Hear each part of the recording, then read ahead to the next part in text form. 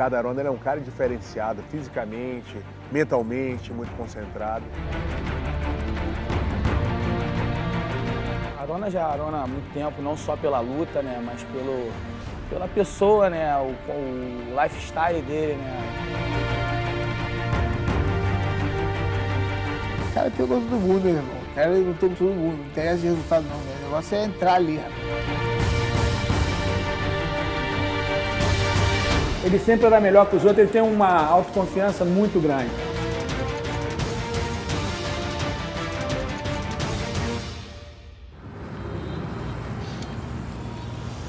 Eu sou nascido aqui em Niterói. Nesse momento que eu tô afastado da luta, é muito importante eu estar aqui, onde eu tô. Então aqui eu tenho essa paz. É diariamente assim e tô no lugar certo, principalmente nesse momento agora.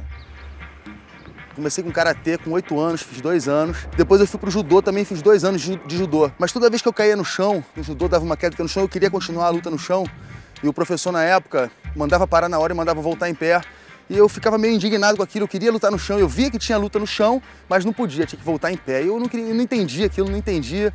Foi quando um amigo meu me falou, eh, me falou pô, cara, vamos, vamos ver a academia de jiu-jitsu que tem aqui, que jiu-jitsu é luta de chão. E eu não conhecia, tinha 13 anos. Daí eu falei, tudo bem, vamos lá. E aí quando eu fiz a primeira aula, eu já senti o poder da luta, já tinha pegada do judô, já tinha gás. Então foi fácil para mim ir pro jiu-jitsu e segurar no chão, dominar. Meu dia a dia aqui é sempre assim, muito esporte. Sempre gostei de skate, por exemplo. Foi um esporte que quando era criança eu fiz muito, quando morava em São Francisco. O surf também sempre me acompanhou, eu sempre gostei muito de surfar. Meus pais também sempre incentivaram tudo isso, surf, skate. Eles são, são duas pessoas que me apoiaram em tudo no esporte. Pedalar também faz parte do dia a dia, tá sempre pedalando. Escalar também, eu gosto de fazer algumas escaladas de rocha. São esportes que mantêm a saúde, né? Mantém a mente também centrada, forte, né? Subir a montanha é de extrema importância, porque eu costumo dizer que eu vou deixando no meio do caminho as coisas ruins até chegar no topo, chegar lá em cima, eu respiro bastante e desço totalmente renovado, que é verdade. Niterói sempre foi um lugar para mim que eu sempre comparei o Rio com um lugar bem mais calmo, onde eu podia viver fora daquela pressão do Rio de Janeiro. O Rio de Janeiro para mim é uma pressão muito grande. É fato que lá estão os melhores treinos, né, cara? Os melhores lutadores de jiu-jitsu, MMA, escolas de boxe, de, de, tudo é no Rio de Janeiro. Ele é um cara que gosta de ficar no lugar dele, não gosta muito de, de sair, de ficar dando pinta, é um cara mais, mais quieto, gosta muito da natureza, adora ir pra praia, Taquatiara é o, é o santuário do Arona. Tento sair o mínimo possível daqui de Taquatiara, porque a gente fala assim, né, questão de natureza, questão de qualidade de vida, mas aqui eu também encontro, assim, uma paz, um sossego, assim, em relação à vida profissional também, tipo, assim, poucas pessoas fazendo muita pergunta, essas coisas que aqui eu consigo ficar tranquilo, em paz, assim, esperando o momento de voltar, das coisas acontecerem.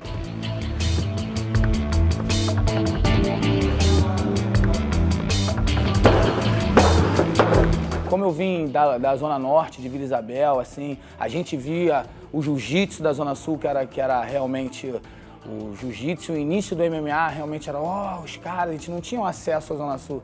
Então, realmente, era já um cara diferenciado, entendeu? Surfava, fazia tudo. Eu morava em Niterói, aí fui morar em Araruama esses quatro anos, aí lá em, em Araruama, treinando com esse meu professor que tinha lá, o Lélio, porra, que tá no céu agora, ele, ele falou para mim, pô, Ricardo, você é muito bom para ficar aqui treinando em Araruama, você tem que ir para o Rio de Janeiro, tem que procurar o Carson, porque o Lélio também ele ensinava a gente jiu-jitsu, mas lá a gente já tinha tradição de fazer muito vale tudo, muito, desde os 15 anos.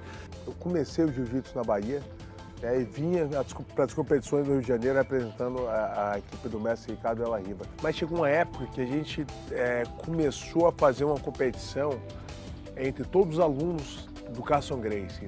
E quando eu cheguei no Carson Grace com 18 para 19, eu, eu já cheguei pedindo para lutar MMA né, sonhava com aquilo, vale tudo, quero ser um campeão e tal. Só que lá eu já encontrei uma hierarquia que dizia, você que faixa? Eu, faixa roxa. Você tem que, eu cheguei no caço de roxa, ele falou, você primeiro tem que concluir a faixa preta, chegar na preta para poder lutar um vale tudo. Aí foi um balde de água fria, mas eu caí para dentro do kimono, aí ganhei o campeonato mundial duas vezes tal, ganhei de marrom, de roxa, fui para preta e ganhei a preta em Abu Dhabi no pódio. Né? Então eu tive que seguir realmente a hierarquia da coisa, não me deram vaga antes, né? Mas aí Abu Dhabi transformou minha vida.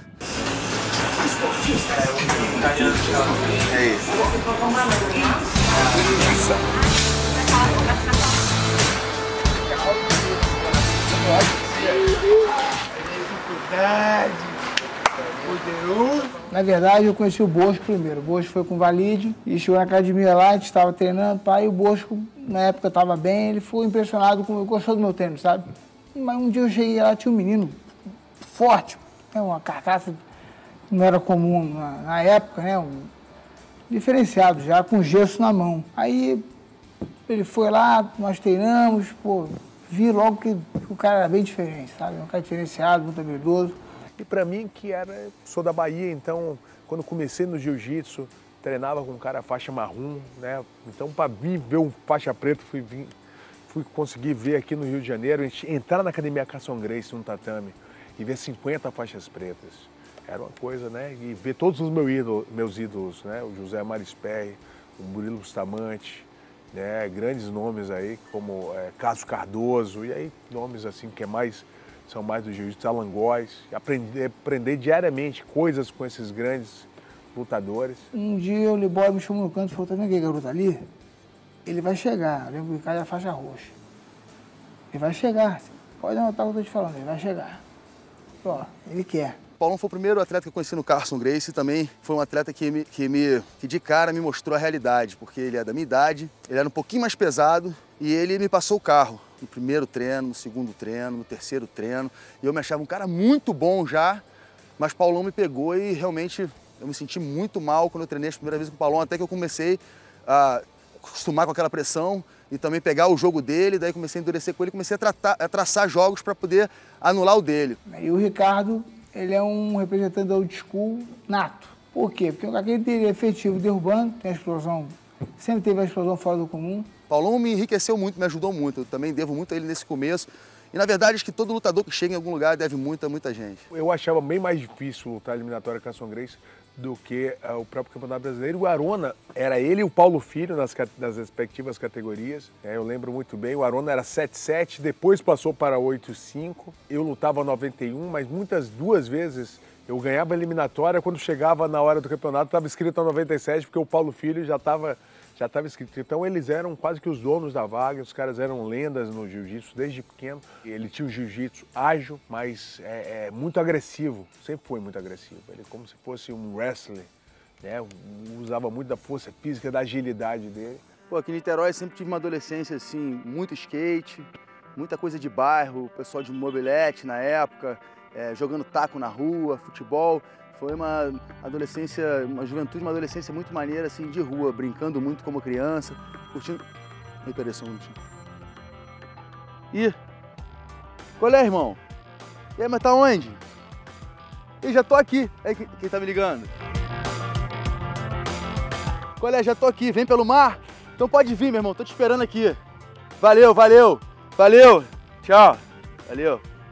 Aí, Rodrigão tá vindo aí. Beleza, fechou. Agora fechou o dia.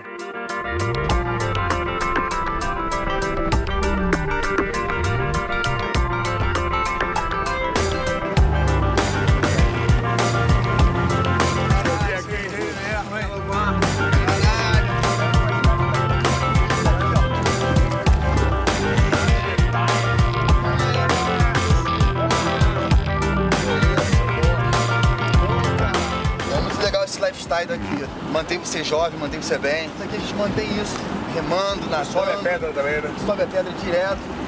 É o tempo todo assim, não para. Pedal, né? vai pedalar, bicicleta, passeio de stand-up, a gente faz tudo aqui, caiaque, rema até a ilha. E essa vida é saúde o tempo inteiro, né, cara? O tempo todo, cara. O tempo todo assim. Tu pode vir de barco, pode vir de carro, do jeito que tu vai me encontrar aqui. Porque as pessoas só veem a gente treinando, né, relutando, sempre aquele lado tenso. A gente está tenso porque vai lutar, tá tenso porque traz tudo isso nas costas, né? A pátria, toda essa coisa que vocês sabem, né? As pessoas veem a gente só como, pô, vai lutar, é uma máquina de luta, o cara só pensa nisso, não. Tem tudo isso para curtir, que é o lado bom, a natureza tem tudo a ver com a gente, né, Rodrigo?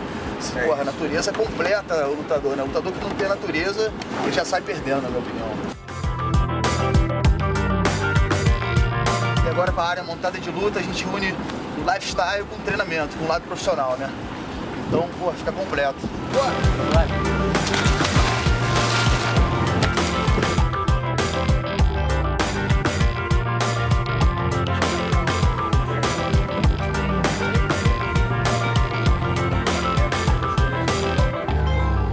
Aqui é o lugar dos índios, né, Minotauro?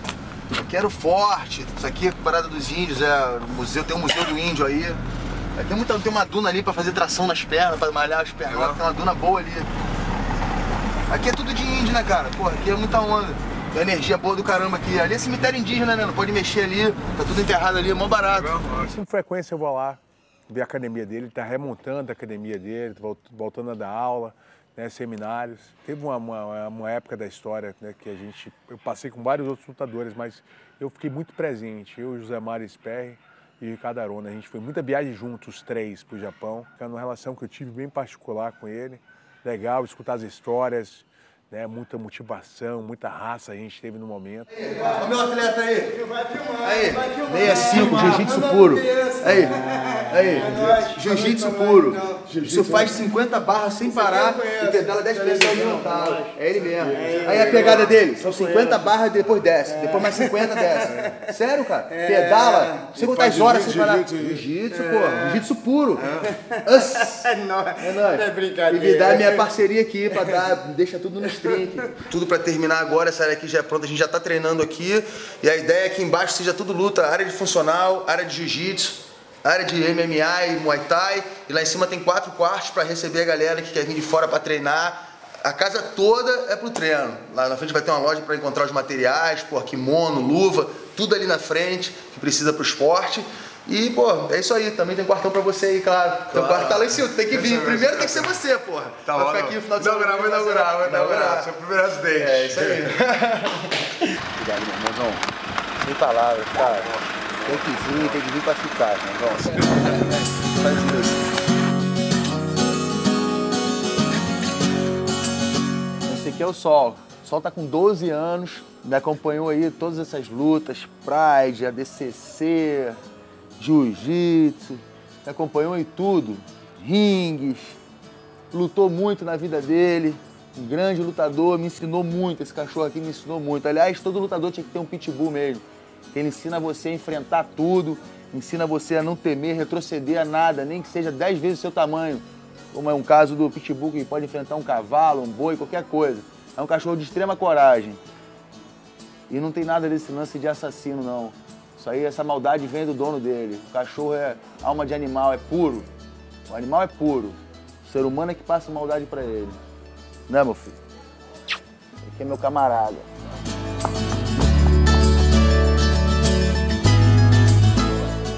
Esse é muito lindo, né, meu filho? Esse é muito filho do pai dele. Guerreiro aqui de casa. Esse é guerreiro mesmo, muitos combates. Lutou a vida toda. Não sou a favor de cachorro brigar, não. Ele lutou entre ele, família, pai, irmãos. Mas ele mostrou, me ensinou muita coisa. Me ensinou muita coisa. Animais ensinam muito. É só ter a sensibilidade de ver, de aprender. Eles ensinam, inclusive, a luta. Tudo, os animais é que ensinam pra gente. Natureza, né? Só você parar pra observar. Vivem muito melhor do que a gente no mundinho deles. Quando eu ganhei meu primeiro torneio em Abu Dhabi, foi o que me marcou. Foi um árabe que chegou pra mim, me agarrou depois da luta e falou assim: Você, você, you, you, you have eyes of tiger, eyes of tiger. Falou assim pra mim. E eu fiquei com aquilo na cabeça, já admirava muito o animal quando ele falou aquilo. Você tem os olhos do tigre, tem um sangue no olho, tem os olhos do tigre. Eu falei: Porra, cara, isso tem muito a ver comigo, isso tá dentro de mim mesmo. Comecei a a olhar para o animal já com outra forma agora, como fonte de inspiração, mais ainda para o que eu fazia. O Arona ele sempre gostou muito né, do, do- animal, da, da mística do animal e a própria característica física. Ele é um cara de explosão, ele sempre foi. Né? E aí quando começaram a chamar ele de, de- de- de tigre, eu acho que se adequou muito bem pela, pelo ataque do Arona. Ele sempre foi muito bem na perna e, e a questão de, do bote do tigre mesmo. E aí, numa dessas viagens para o Japão, na primeira, né, na verdade, eu fui para Tailândia sozinho, como acho que tinha que ser. Passei um mês na Tailândia sozinho, dormindo numa cabana de palha, na beira do, de um mar lindo. E eu só saía dali para treinar Muay Thai. E quando eu voltava do Muay Thai, eu ia para um, pra um safari que tinha lá, que era uma hora de ônibus. E eu me ofereci para ser voluntário para cuidar dos tigres. E foi lá que eu vi realmente quem era o tigre. Tinha mais ou menos uns 30 a 40 tigres adultos e muitos filhotes. E aí eu, eu podia dar banho nos filhotes, podia dar mamadeira, fazer uma mistura que eles comiam, que era uma carne com uma ração. É, e eu lembro de uma passagem do Arona, que ele foi para Tailândia, Ele teve contato com, com, com o tigre lá, ficou criando o bichinho ali quase com um mês. Voltou com algumas mordidas no corpo, né? E se apaixonou pelo animal, vi muitas fotos dele com o tigre. Eu queria observar. E daí que eu vi que é um animal único, não tem igual. Lá também tinham 40 leões. E os leões, toda vez que a gente chegava para dar comida para os leões, os leões nem se mexiam, ficavam deitados, separava o carro em cima dele, ele ficava te olhando. O tigre não, eles estavam sempre todos espalhados. E quando a gente entrava com o carro para levar comida para eles, na hora eles se reagrupavam, todo mundo se juntavam e ficavam tudo olhando muito tenso. Nunca relaxavam. O tigre não relaxa, ele está sempre tenso, olhando, focado, prestando o leão totalmente relaxado. Então, é, minha admiração pelo tigre, pelo animal, pelo soldado que ele é. Combatente, luta com qualquer outro animal, caça para comer. Se quiser acasalar, ele tem que achar no cheiro, o instinto puro, vai no instinto. E os movimentos dele, ele é muito sagaz, ele dá salto de 5, 6 metros, ele pode fazer qualquer coisa e luta com todos os membros, como tem que ser o jiu-jitsu. Com as garras, com a cabeça, o, o, tigre luta com tudo que ele tem. E é assim tem que ser na luta, tem que lutar com tudo que você tem, focado só na vitória. As pessoas dizem, ah, os opostos se atraem, isso é meio mentira, né? Eu acredito que os opostos se afastem, né? Os semelhantes se atraem. E como a gente pensa da mesma maneira, né? Vive da mesma forma, vive como tigre e vivo como leão. Né? Como tigre é mais o leão porque eu, eu ainda estou na caça por enquanto. Né? Ele está tá resguardando, ele está se poupando, ele está com energia. O tigre consegue fazer guarda igual o jiu-jitsu, se atacar com as pernas, com as patas, com todas as quatro garras dele mais a boca, enquanto o leão não tem essa capacidade. Então, é, o tigre é muito versátil, se movimenta, saltos, patadas, movimentos diversos, podendo virar no eixo várias vezes como um gato de verdade. É um animal que eu admiro muito, admiro a personalidade dele. Quando ele não está caçando, não está fazendo nada, ele está contemplando, pensando, meditando. Assim como um gato pequeno, você vê também que fica no mundo dele fechado, meditando. Senhor de si, faz o que quer, seguro, sabe que tem armas nas mãos, mas só usa quando é necessário. É no tigre que eu foco. Ele, com certeza, me deu também o que eu preciso de volta, simplesmente sendo o animal que é. Fantástico.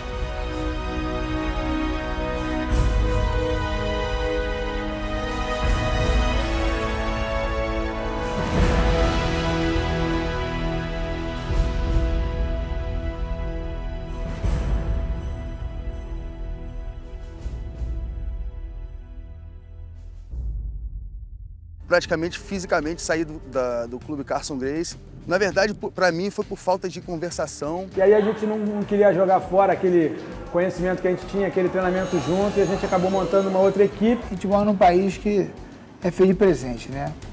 Passado não existe, futuro quem sabe. A gente conseguiu formar na época a melhor equipe de MMA do mundo. Na mesma época veio a shootbox e aí a gente fez uma rivalidade histórica aí de quase oito anos. confusão é essa que estava tendo no Japão de brasileiros? O que está acontecendo? Os brasileiros estão aterrorizando no Japão. Até o pós-luta, ninguém se falava. O Tom às vezes a porrada comia no pós-luta. O cara é da época que a gente lutava não pelo dinheiro, entendeu? Lutava por amor. Isso fez promover o evento mundialmente promoveu toda a história do Pride. Então, embora tenha sido uma casualidade, um desentendimento, foi muito importante para o desenvolvimento da luta mundialmente.